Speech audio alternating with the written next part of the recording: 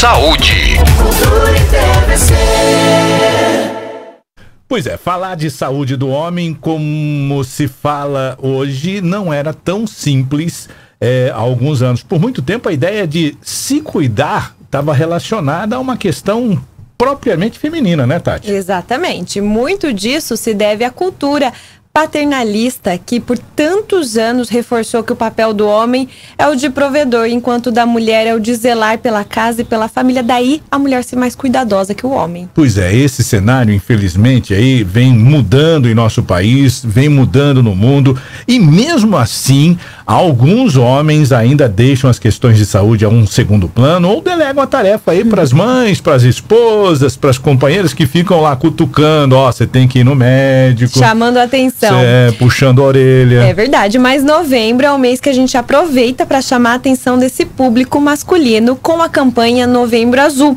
Sobre isso, a gente discute a importância da prevenção ao câncer de próstata e por isso a gente recebe aqui no nosso estúdio o médico urologista, o Dr. Tarso Nascimbem Ferraz, que já está aqui do nosso ladinho. Legal. Bom dia, doutor, seja bem-vindo, prazer recebê-lo. Bom dia, bom dia, mais uma vez um prazer estar aqui no programa, sempre uma discussão muito legal, muito animada. Então vamos, vamos lá, né? E muito pertinente, né? Essa pauta é, nunca fica velha. Nunca fica uhum. velha. Pois é, vamos lá. Quer não, iniciar não, as perguntas? Não, uma pergunta que nós fizemos antes, estamos no intervalo aqui, foi uma coisa que eu indaguei já o doutor logo de cara sobre se a, a, houve um aumento, justamente pela, pela, pela campanha que está sendo feita, né? Houve um aumento de consultas. E daí é. o doutor já não me deu uma notícia é. muito boa. Já não, animou. Sim, assim, assim nós, nós, realmente sempre temos um aumento da demanda nessa época de novembro. A campanha realmente ela tem uma abrangência nacional e uhum. tem uma, um impacto na população muito grande. Então, assim, muita gente deixa para fazer os exames nessa época. Certo. Só que esse ano a, a importância da nossa campanha é muito maior do que nos outros anos. Porque o ano passado nós tivemos 84.900 casos de, de, de diagnósticos de câncer de próstata, de pacientes que não só têm o câncer, como foram diagnosticados com câncer novo, não só certo. aqueles que estão em tratamento. Uhum. E esse ano a nossa previsão é de fechar o ano em torno de 65 mil casos só. E se a gente for pensar, a nossa população não diminuiu tanto assim. Nós não tivemos, a nossa população não está ficando mais jovem, muito pelo contrário, ela ficou mais velha do que o ano passado. Certo. Então, assim, a nossa esperança é de, é de que esses diagnósticos aumentassem. Uhum. Nós tivéssemos mais o diagnósticos. seria esse. Uhum. Exatamente. Só que nós temos 20 mil casos a menos. Por que isso? Por causa da pandemia, muita gente deixou de ir ao médico. Muita gente pra, pra, pra deixou de procurar, de do, fazer os do isolamento social, se cuidando e tal. Então, assim, nós nós é, nós estamos trabalhando com é, pelo menos sabendo que 20 mil pessoas que têm eh, câncer de próstata não fizeram diagnóstico esse ano. Então, assim, nós temos que bater muito nessa tecla, por quê? Porque você pode ser um desses 20 mil, entendeu? Você Nossa. pode ser uma dessas pessoas que teria que ter diagnosticado e não foi diagnosticado. Então, assim, que mesmo quem está pensando, quem não fez, acho que deve ir aproveitar a campanha para a gente tentar correr atrás do prejuízo, pelo menos buscar o número do ano passado. Né? Doutor, esse mesmo discurso que o senhor está tendo, nós ouvimos em outubro do mastologista com a campanha do Outubro Rosa, uhum. em que o número de mulheres fazendo mamografia também diminuiu e o número de mulheres sendo diagnosticadas com câncer de mama também, por consequência, é, Isso daí diminuiu. aconteceu em todos os cânceres. Assim, é. não, não só diminuíram os diagnósticos, como a gente tem feito diagnósticos de câncer numa fase mais avançada. Uhum. Eu estava comentando outro dia com outros colegas que, que a gente nunca fez tanto diagnóstico de câncer de rim numa fase tão avançada quanto nesse ano. Fazia mais de. Tem mais de 10 anos que eu trabalho com isso. E nós nunca, e assim, não tinha visto tantos casos tão avançados assim. Mesmo uhum. quando eu uhum. trabalhava, na, na USP em Ribeirão Preto não, não tinha tanto um volume tão grande quanto a gente está vendo chegando às vezes no pronto-socorro mesmo. E isso está associado à falta de prevenção. Exatamente, porque como a pessoa deixou de fazer exame, uhum. a gente deixa de descobrir aquele câncer por acaso, a gente descobre uhum. o câncer pelos sintomas. E no câncer de próstata especificamente, quando você descobre o câncer pelos sintomas, 90% já são em fases avançadas. Ah, então nós certo. perdemos aquela taxa de cura, porque quando a gente descobre na, na, na campanha, nas avaliações, nos exames de rotina, 90% são fases iniciais, uhum. que são aqueles cânceres que a gente consegue curar. Uhum. Agora, quando a gente descobre por sintoma, aí já às vezes não é mais um tratamento curativo, passa a ser um tratamento de controle da doença, uma situação às vezes até paliativa. Né? Doutor, tem, tem uma coisa que, que é preconceito. Uhum. Tá? Eu já ouvi muita gente falar assim: ah, não, tem o exame de sangue, fica tudo tranquilo. Mas o exame de toque é essencial nesses casos? É, é, é essencial, o exame de toque é essencial. É, como funciona? O, o, o PSA ele é o melhor exame é, laboratorial de rastreio para qualquer tipo de câncer. É melhor do que todos os outros. É, ele é muito bom. Mas ele não é perfeito. Por quê? Porque não é toda célula que produz PSA. Na próstata, a gente é um, é um órgão grande que tem várias células. Algumas produzem PSA, outras não produzem PSA. Então, se a gente tem o câncer daquela linhagem celular que produz PSA, ele vai aumentar o PSA. Se a gente tiver um câncer de uma célula que é de uma linhagem que não produz PSA, não vai aumentar o PSA. Você tem câncer do mesmo jeito uhum. e não aumenta o PSA. Uhum. Qual que é o problema? Mais ou menos 70% produzem PSA, 30% não produzem.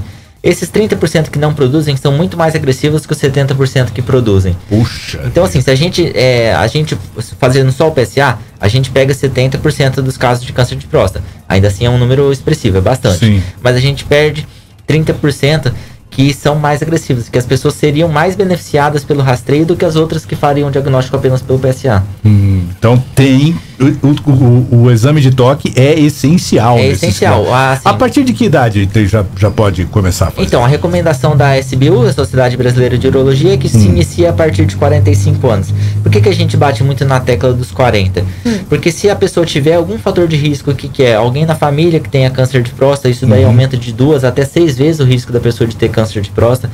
Ou se a pessoa for de uma, de uma etnia negra, que também tem um risco maior de câncer de próstata, a gente orienta que comece aos 40 anos.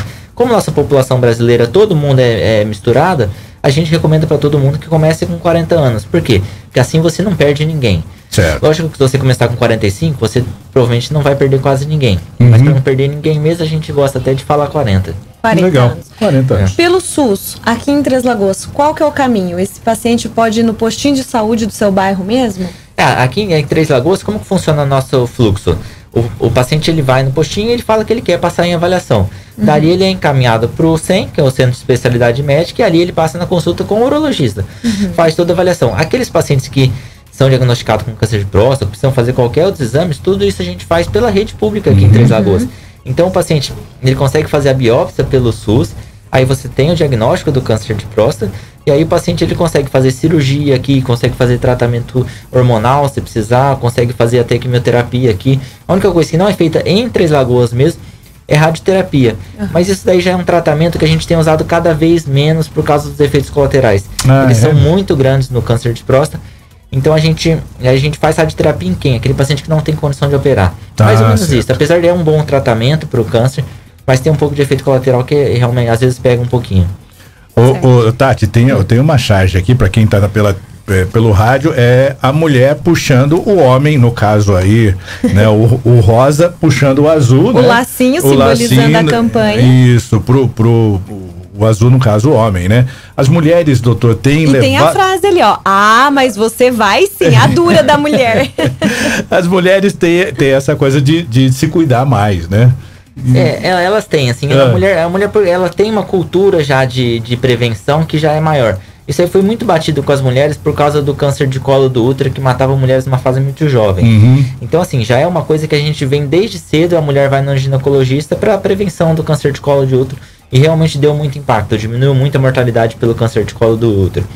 E também a mulher que leva o pai na consulta, uhum. é a mulher que leva os filhos na consulta. Isso. Normalmente a mulher ela já é mais acostumada com o ambiente médico, entendeu? O homem a mulher não, não ela vai. só agenda a consulta do marido e aí avisa, amor, tal dia, tal hora, tal é, local. É, normalmente assim, normalmente é as mulheres que agendam, que vão certo. atrás para os maridos irem. Mas a, ah, graças a Deus isso está diminuindo, os homens estão ficando cada vez mais conscientes os pacientes eles já vão todos os anos, eles uhum. já procuram, eles já se interessam. Isso daí já tá. A gente está conseguindo quebrar esse, esse estigma, esse paradigma, ah, né? Que bom, né? né? Que bom, a gente fica bom. feliz. Doutor, Novembro Azul, estamos chegando na reta final do mês. Qual que é a mensagem que o senhor, como urologista, passa para esse público? Não, a mensagem é que ainda dá para a gente recuperar o prejuízo do ano da pandemia, ainda dá para você que não passou em consulta, para você procurar, passar em consulta, ainda então, assim, que você nem, talvez seja um desses pacientes que ficaram perdidos. Então, é, eu acho que é a hora de, de recuperar, de correr atrás, porque nunca é tarde para cuidar da saúde, né? Isso e não, não, se negligenciar, é. né? Exatamente, não pode. Não, não, não podemos. A gente não pode distrair. A gente sempre tem que manter um, um foco, uma rotina de, de exames. Né? Valeu, doutor. Muito obrigado pela sua participação aqui. Eu acho que foi esclarecedora, né? Bastante, demais. Maravilha.